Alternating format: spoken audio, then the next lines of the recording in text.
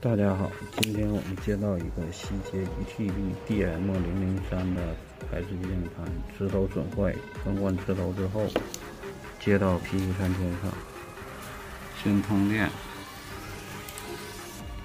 这个 ROM 我们首先得解锁一下，解锁之后按技术模式进行解锁，解锁门后已经识别到 ID。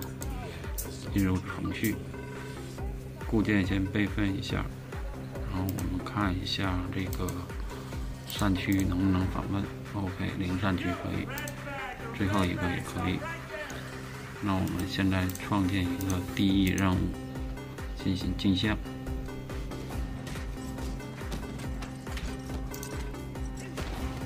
好，我们创建镜像，按照向导一步一步执行就行了。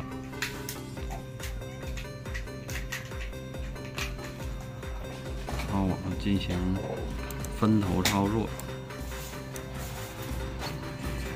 点应用，开始创建枝头地图。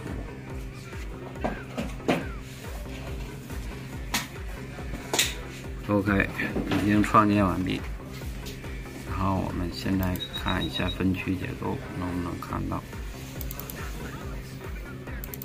好，分区已经展开。